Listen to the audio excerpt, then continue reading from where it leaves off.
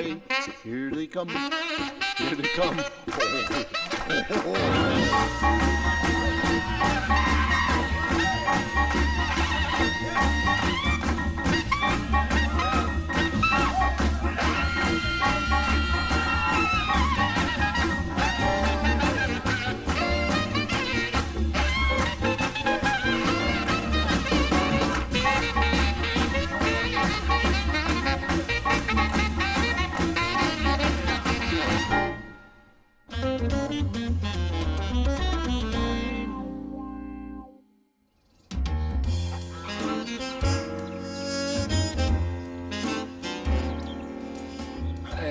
code The code? for our new alarm system? Oh, right, the alarm system. Uh, two something. Look, Angie, it's simple. The code is the month, day, and year I met your mother. It's a very important date. Mm, Maybe that's an important date for you, but not for me. Actually, it's more important to you than to me. If I hadn't met your mother on that date, I'd still be here, but you wouldn't.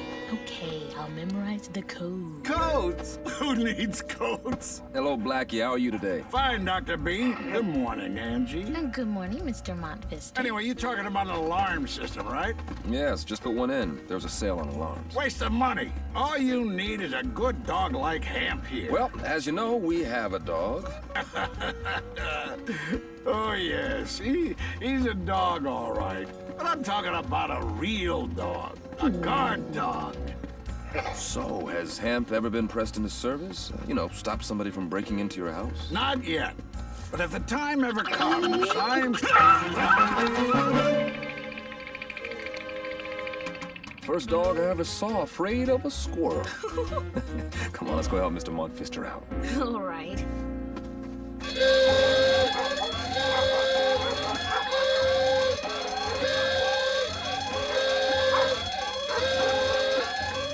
Arthur, the alarm was unarmed. You didn't touch the control panel. No, I was in the kitchen. What about Roy? Uh, Catherine? No, they were in their rooms. Are you sure you entered the right code? You think I don't remember the day we met? Maybe you programmed the wrong date. Let me just take a look. Hmm. Everything looks all right. Dr. Bindlebeep? Dr. Bindlebeep? Yes. I'm Bobby with the alarm company. Nice to meet you, Bobby. I reset the system. So, what was the problem? No problem, sir. Everything checks out fine. But the alarm went off by itself. No, sir. Something must have triggered it. Exactly. So, what was the problem? No problem. Like I said, everything checked out A-OK. But if something triggered it, then there is a problem, right? Right. And what might that problem be? Don't know, sir. Whatever it is, it isn't our system. My guess, it's the phone line. The phone line. Yes, sir. Probably has a faulty rabbit relay, which could be giving you gator bursts in the settle tweeds. If I were you, I'd get the phone company over here pronto. This is Norma I'm speaking to, right? Yes, that's right. When? Between 9 and But- 6. That's the best I can do. Okay, thank you. Thank you. The phone company said they can have somebody here between 9 and 6. Nine and six, but I have classes to teach. And I run a bookstore. Okay, I guess we're just going to have to split up the day. I can stay until 10:30. Okay, I can come back at 10:30, but I have a class at 11:30. All right. I'll take an early lunch, but I need to be back at the store by 1 to meet a publisher's rep. I can cover you from 1 until 1:45. My meeting should be done by then, so I'll run back here and let's see. I'm good until 3. Good. I'll meet you here at 3, but I have a parent-teacher conference at 4. Okay, I'll pick up Catherine and be here by 4. Are we set? I hope so. You know what happens if you miss the phone company. They punish you. Next appointment in 3 weeks. Between 5 a.m. and midnight. All right, let's synchronize our watches. Now, I have noticed that certain things around the house that I'd asked to be taken care of were not done. Roy, didn't I ask you to take that old piece of outdoor carpet from the back porch and put it by the curb? Me? I thought Angie was doing that. No, Roy, you were supposed to do that. And Angie, I see that the coffee table drawer in the den is still filled with old television schedules and moldy candy from last Halloween. Wasn't Catherine supposed to clean out that drawer? No, I was supposed to. I don't remember. Which is why I've compiled a written list of things to do with a name assigned to each item. And you know why I've gone to the trouble of making this list? Hmm. Responsibility. You see, if one person is clearly responsible for something, it usually gets done. Okay, everyone, you better get moving or you'll be late for school. Yeah, Mom's right. Let's get out of here fast. All right, the responsibility speech will resume at dinner. Oh, man. I was joking. That's all I have to say on the subject. Except for one brief addendum. Everyone in this house is responsible for memorizing the code for our new alarm system. I don't want it going off all the time because you can't remember. Like Like I told your husband, Mrs. Bindlebeep, our system checks out fine. Did you call the phone company? Yes, they're coming today. Good. Have them check out the BOA blockers. right. Boa blockers. The phone company been here? Not yet. I think they're watching the house and waiting for us to leave. But this time, the phone company will be foiled. We have every hour, every minute, every second covered. Ah, they'll find a way. I will keep watch for our phone friends and be right here when they arrive. Be back at 11:30. Roger. What's that? This, uh, I don't know. Probably some sales flyer. It was taped to the door. Oh no, it's from the phone company. A representative stopped by for your scheduled appointment but found no one at home. Please call our office to reschedule. Oh, I must have been in the basement with the guy from the alarm company. He just left. Okay, well, all right. Look at the time on this note. They were here five minutes ago. Hey! Whoa! Whoa! Oh, there, there he is. Hey, hey, Bowman! Look here! Look! Uh, Hey, Mr. Bowman! come on! Hey, hey, hey, you! Yeah! Oh! oh. Whoa, whoa, whoa, wait, wait, wait, wait.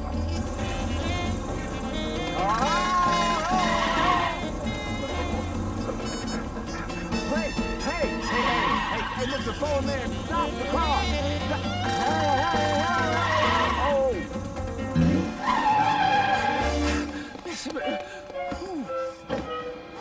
help you?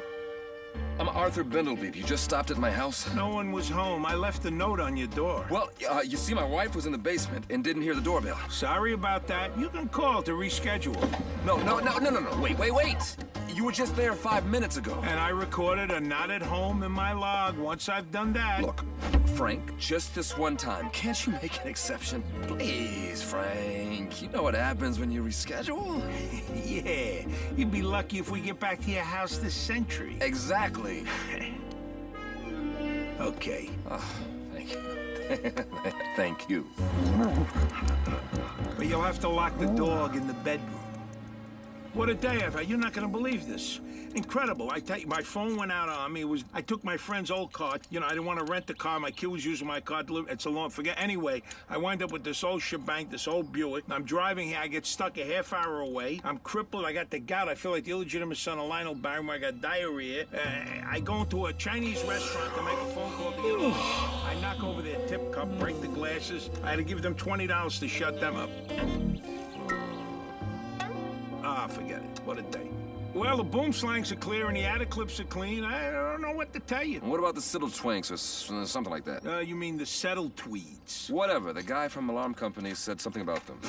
He don't know what he's talking about. These Settle tweeds are the highest quality in the business. Okay, but he told my wife that it could be the boa something or The boa blockers? Yes, yes, that's it. The, the boa blockers. Could be. You think so? Yeah, bad boa blockers can cause a gaggle in a tarantula cord, which could set off the alarm. So let's look at boa blockers. Can't. Why not? The boa blockers are inside the house. Oh, well, don't worry. It's my house. I can let you in. The phone company's only responsible for the wiring outside the house. For the wiring inside the house, you'll have to call an electrician. Thanks. I really appreciate you getting here so fast. Hey, you're lucky. I was just around the corner when they beat me. I guess I was lucky. Not really. This is an emergency call. Double or eight plus a surcharge. And nothing wrong with the boa blockers. Slither seethers are okay too. Chronicle couplers are fine. You know what I think is setting off your alarm? What? Has to be the Diplodocus on the Circumnavigator. Can we check it out? Well, you don't want me to touch your Diplodocus. Why not? It could void the warranty. My Diplodocus has a warranty. Yeah, it's part of the alarm system. For that, you gotta call the alarm company.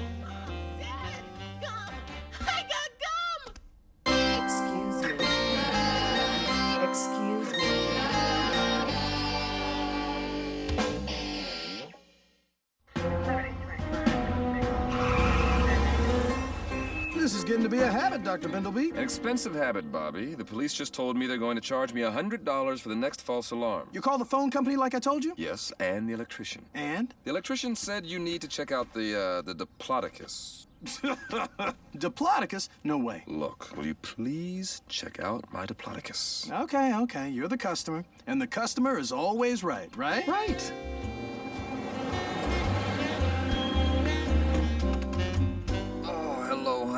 How was your day? Fine. How was yours, Daddy?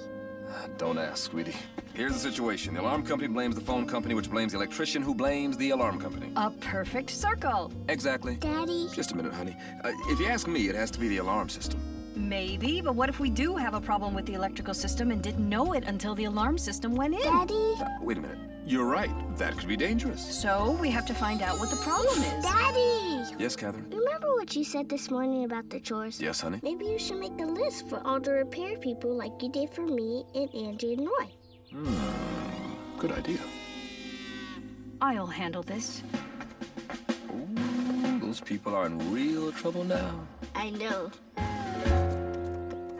Hey, looks like that alarm system is giving Bindlebeep a lot of trouble. Good thing I have you, Hank.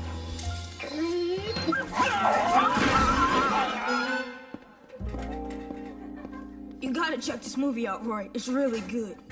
Hey, Dad, you look happy. Oh, yes. Your mother has just taken charge of getting the alarm system fixed. Hmm, great. Problem solved. The way you just said that made it sound like I couldn't have handled it. No, Dad, I, I didn't mean it like that. I only meant that Mom could probably handle it better. Oh, come on, Dad. You know how good Mom is at getting things done. Anyway, once the alarm is working, I don't want any of us to set it off accidentally. Dad, we know about alarms. You don't have to treat us like children. I don't?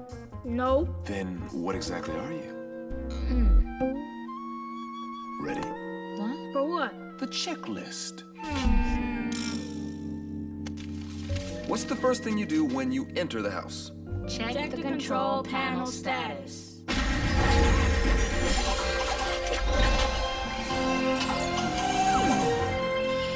And if the system is armed? There are 30 seconds to enter the code. And what is the code? 916. 1985. Roger that. And how many functions are there on the control panel? Eight. Name two. Away. Roger. At home. Exactly.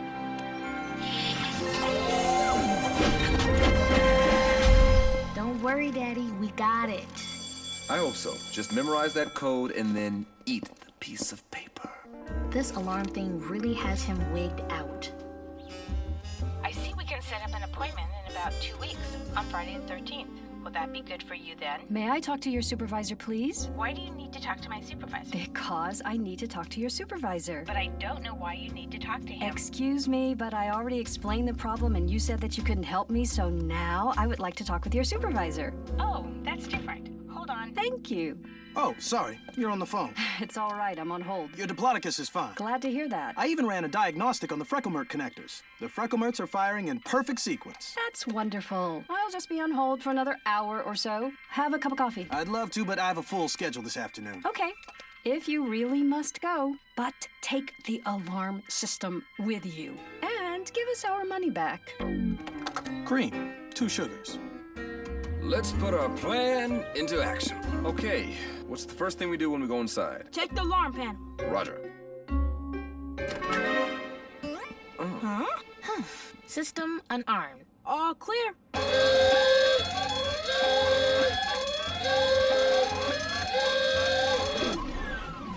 Now it stops by itself, too. That's an improvement.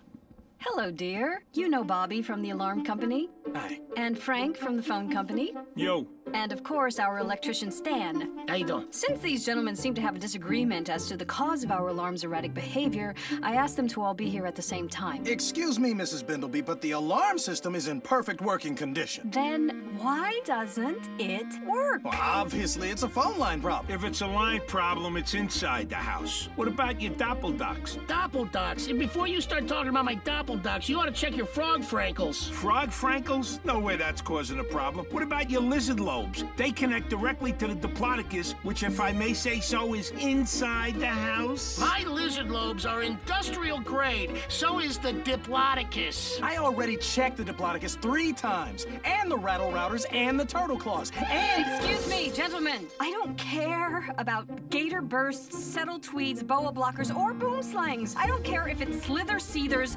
couplers, frog frankles, rattle routers, turtle claws, or lizard lobes. I don't even care if it's the diplodocus. Please, just find the problem and fix it.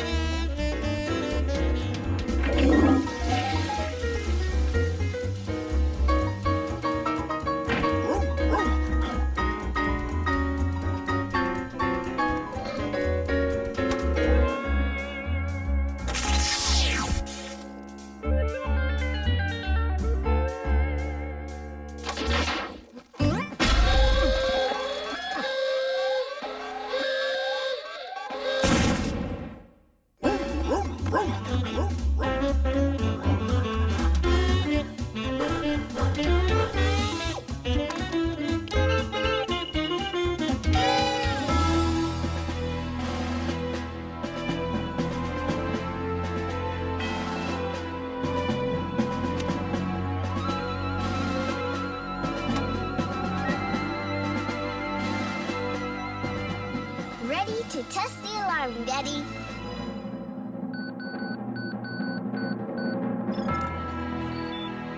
Seems to be working fine. So, what was the problem? Well, I. Yo! Well, no, I'm the one who. You? If I hadn't. Wait a minute. Not long ago, all of you said that it wasn't your problem. Now you're each claiming that you fixed the problem. So, whose problem was it? Thank you. His.